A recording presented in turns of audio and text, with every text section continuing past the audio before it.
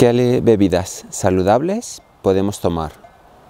Pues actualmente en los bares nos ofrecen muchos refrescos o alcohol, que suele ser la bebida habitual. También tenemos infusiones, cafés ¿no? y agua. A veces nos da mucha pereza pagar por agua.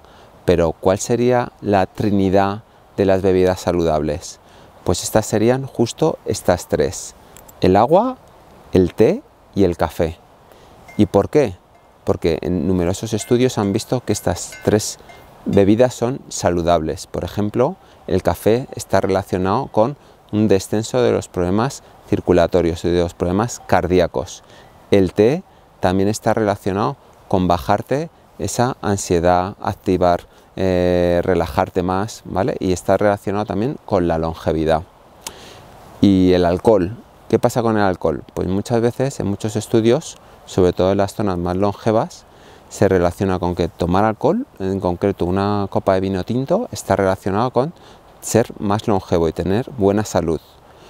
Pero esto seguramente está relacionado por todo lo que viene alrededor de esta copa de vino, que es crear conexión con otras personas y comer más saludablemente en un ambiente más distendido y no como una herramienta para gestionar el estrés y bajar el estrés.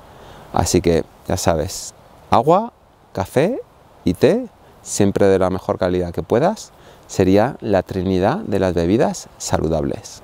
Saludo, estoy aquí en el Pirineo, en el Valle de Hecho.